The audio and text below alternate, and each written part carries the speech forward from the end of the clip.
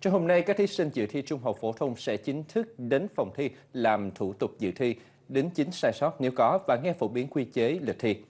Cả nước có hơn 1 triệu thí sinh đăng ký dự thi tốt nghiệp trung học phổ thông năm 2024 trên hệ thống quản lý thi của Bộ Giáo dục và Đào tạo, tăng khoảng 45.000 thí sinh so với năm 2023. Kỳ thi tốt nghiệp trung học phổ thông năm 2024 sẽ diễn ra từ ngày 26 đến ngày 29 tháng 6. Ngày 27 và ngày 28 tháng 6 thí sinh làm bài thi, ngày 29 tháng 6 là lịch dự phòng. Điểm thi dự kiến công bố vào ngày 17 tháng 7. Thời gian xét công nhận tốt nghiệp trung học phổ thông chậm nhất đến ngày 19 tháng 7 và sau đó thí sinh có thể dùng điểm thi để xét tuyển đại học cao đẳng.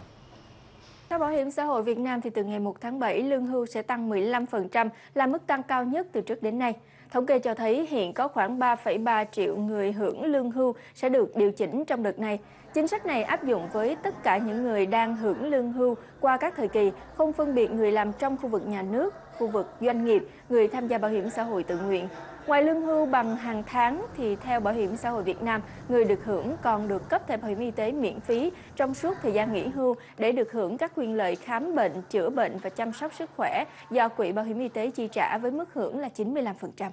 Tiếp tục với một số thông tin đầu ngày đáng chú ý khác. Từ đầu năm đến nay, 16 thương nhân phân phối đã trả lại giấy phép kinh doanh xăng dầu cho Bộ Công Thương. Và hiện còn 298 thương nhân phân phối tham gia kinh doanh xăng dầu, giảm mạnh so với cao điểm của năm 2023. Vì vậy, Thủ tướng yêu cầu Bộ Công Thương chủ trì phối hợp với các cơ quan liên quan thực hiện đồng bộ hiệu quả các giải pháp đảm bảo nguồn cung xăng dầu trong mọi tình huống, không để thiếu xăng dầu và điều hành giá xăng dầu theo quy định. Đồng thời phải tăng cường kiểm tra giám sát thị trường, xử lý nghiêm các hành vi vi phạm, tuyệt đối không để thiếu thiếu hụt, đứt gãy nguồn cung xăng dầu, kiểm tra chuyên đề về việc thực hiện hóa đơn điện tử.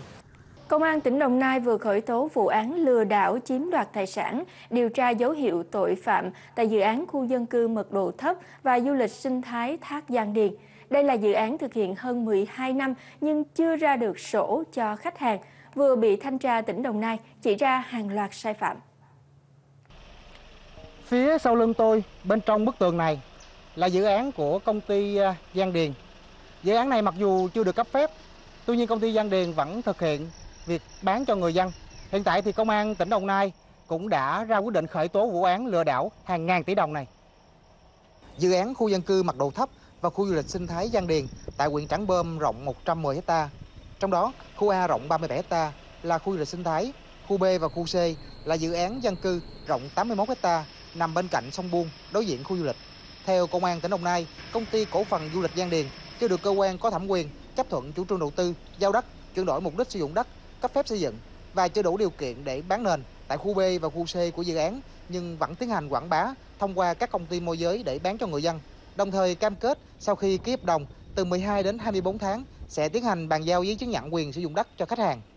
Cái hành vi mà à, phân lô bán nền khi chưa được à, Ờ, khi chưa được cấp phép của cơ quan nhà nước có thẩm quyền ờ, mà anh đã tự phân lô ờ, bán nền, như vậy là có dấu hiệu của tội lừa đảo chiếm đoạt tài sản. Đối với cái giá trị tài sản bị chiếm đoạt trên 500 triệu thì đã phạm tội vào vào tình tiết định khung là vào khoản 4 điều 174 của luật hình sự năm 2015 được sửa đổi bổ sung năm 2017 với khung hình phạt từ 12 năm 12 năm tù. Ờ, đến 20 năm tù hoặc tù tù trung thân và những cái ờ, giá trị tài sản mà ờ, đã bị chiếm đoạt thì phải được thu hồi để hoàn trả cho người bị hại. Theo Công an tỉnh Đồng Nai, từ năm 2010 đến năm 2018, công ty cổ phần du lịch Giang Điền đã ký hơn 1.200 hợp đồng mua bán với khách hàng, nhà đầu tư để thu về số tiền hơn 1.000 tỷ đồng. Hiện cơ quan chức năng đang tiếp tục mở rộng điều tra để xử lý những cá nhân, tổ chức có liên quan trong vụ án. Nội dung chi tiết hơn, chương trình quốc gia về sử dụng năng lượng tiết kiệm và hiệu quả giai đoạn 2019-2030 đặt mục tiêu tiết kiệm năng lượng, trong đó chủ yếu là tiết kiệm điện từ 8 đến 10% trong giai đoạn đến năm 2030 và từ 15 đến 20% trong giai đoạn đến năm 2050. Việc thực hiện mục tiêu này là thách thức rất lớn, đòi hỏi sự vào cuộc của xã hội. Thông tin tại diễn đàn sử dụng năng lượng tiết kiệm và hiệu quả năm 2024.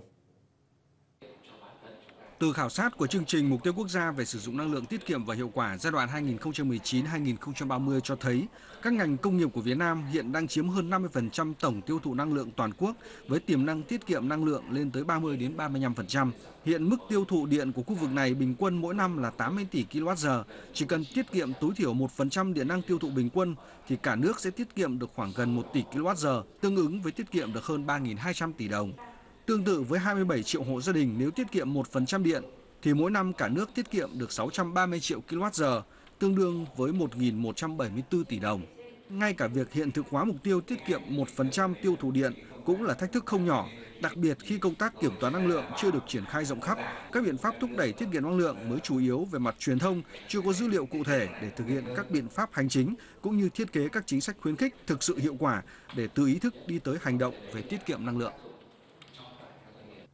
Với người dân vùng cao, tìm kiếm công việc có thu nhập ổn định bằng con đường xuất khẩu lao động giờ không còn là ước mơ xa vời. Bằng sức khỏe và nghị lực của bản thân, nhiều thanh niên dân tộc thiểu số đã mạnh dạn vay vốn để đi xuất khẩu lao động.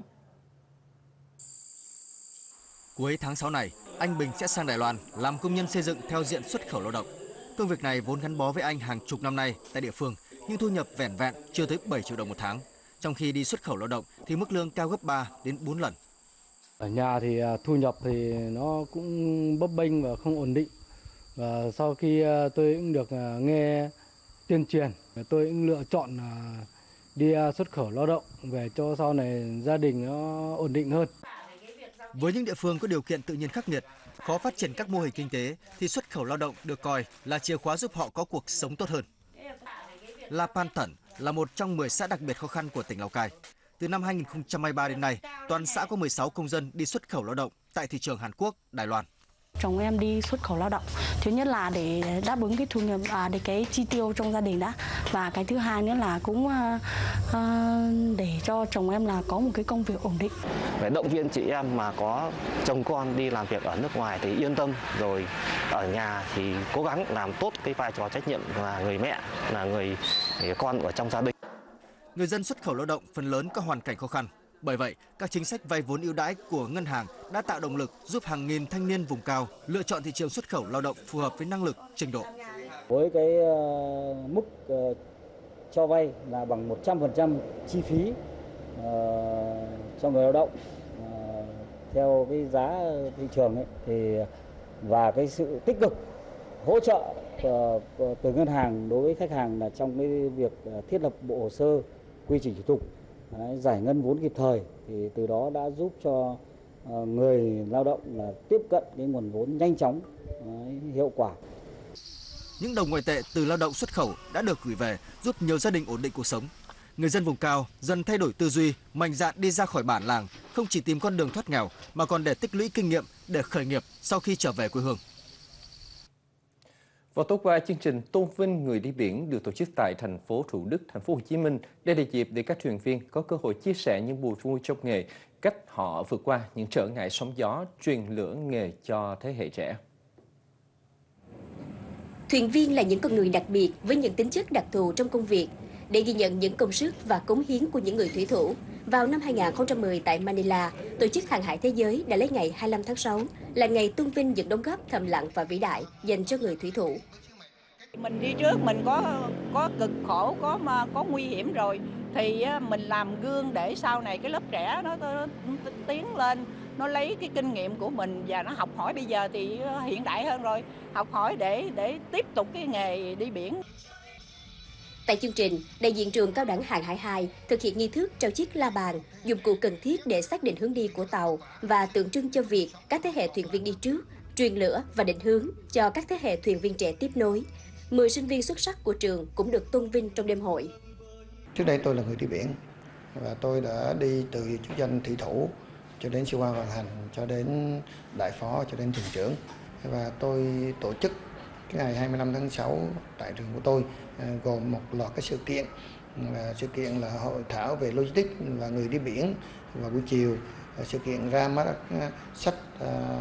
đời thi thủ, và sự kiện thứ ba là vào buổi tối là đêm hội tôn vinh người đi biển tại trường chúng tôi